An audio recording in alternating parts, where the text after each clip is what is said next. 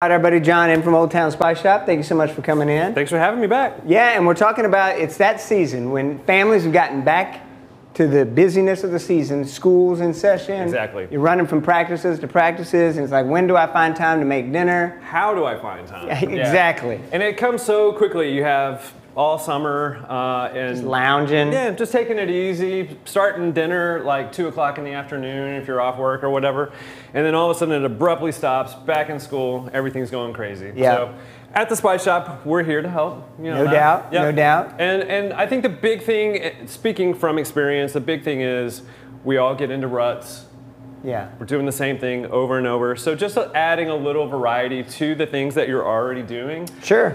Makes it a little more interesting, a little more exciting when you sit down. It's not the same exact old thing that you've been having before. So it, the the easy thing to do again is to to take things that are already in your pantry. Um, Right? y- Your staples. Yep. A big thing at my house is pasta. I think a lot of people are like Pasta's that. easy, right? Yep. Uh, and we actually at the Spice Shop have some really nice packaged one pot pasta dinners. You can add a protein to it if you want some chicken, some sausage. Sure. Um, but everything is in that package, so you just put it in a pan, cook it, it's ready to go. You're good to go. That's That- super easy. That is super easy. Yeah. I like that. Some people want to do things a little bit fancier, um, and we also do some packaged soups from Thompson Farms. Now that's going to be a little bit more involved, but it's also something you can start early in the day if you want to put it in the crock pot. Cutting vegetables, that kind of thing. Yeah, exactly. Yeah. And so then it'll be done when you're home. Everybody can gather around the table and have a dinner together, which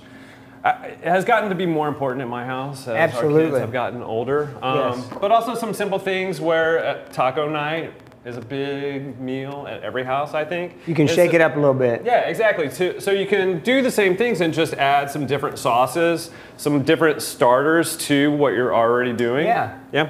Um, and also at the Spice Shop, we do a lot of pre-made mixes. So Sloppy Joe is a popular one.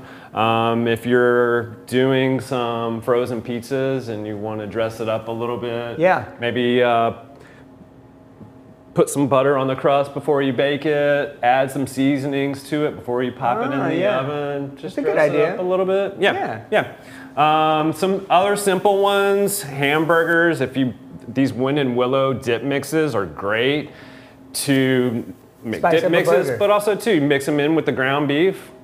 Cook it like usual. It's going to be a totally different taste experience. Elevate it a little bit. Yeah, exactly, exactly. Go check them out. Olde Town Spice Shoppe's got what you need to get that meal done in, a, in, in the right time, but it's going to taste great too. Yeah, we want to do both. Yeah, it, it can be done. hey, keep it here. We got more coming your way. It's Fox 2 News, 9 a.m.